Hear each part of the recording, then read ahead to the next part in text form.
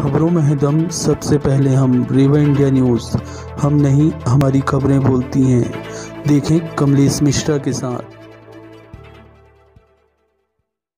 तो नमस्कार दोस्तों, मैं हूँ कमलेश मिश्रा और आप मेरे साथ देख रहे हैं रेवा इंडिया न्यूज़ तो चलिए देखते हैं आज की यह खबर। निष्पक्ष जाँच की मांग को लेकर कांग्रेसियों ने सौंपा ज्ञापन। मंडला, पिंडरई में हुए विवाद को लेकर कांग्रेस ने पुलिस अधीक्षक यशपाल सिंह राजपूत को ज्ञापन सौंपकर निष्पक्ष जाँच की मांग की है। गौरतलब है कि विगत दिनों पूर्व ग्राम पिंडरई में दो पक्षों के बीच जमकर मारपीट हुई थी, जिसमें कई लोग घायल हो गए थे।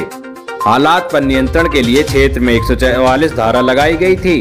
कांग्रेस पदाधिकारियों का कहना है कि पुलिस ने ऐसे लोगों पर भी मामला दर्ज कर दिया है जिनका पूरे विवाद से कोई लेना देना नहीं है।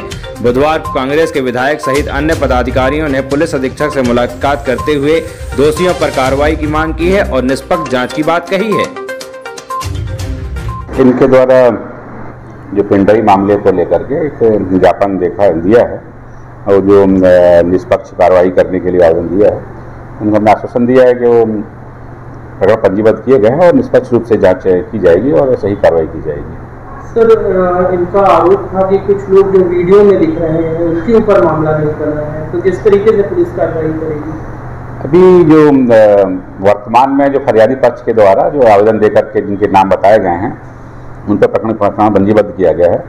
और साथ ही साथ पुलिस विवेचना में जो वीडियो जो वायरल हो रहे हैं, जो लोगों ने रिकॉर्ड किए गए हैं, उनको भी देख रहे हैं और उसमें भी जो आरोपी दिख रहे हैं, जो नाम छूट गए हैं, वो भी नहीं छोड़े जाएँगे और उनको भी नाम आइडेंटिफाई करके नामजद किए जाएँगे। पढ़ने के लिए आप हमारी वेबसाइट पे भी जा सकते हैं, टाइप करिए www.revaindianews.in अगर आपको हमारी खबरें पसंद आए तो उसे लाइक और शेयर करना ना भूलें। तब तक के लिए जय हिंद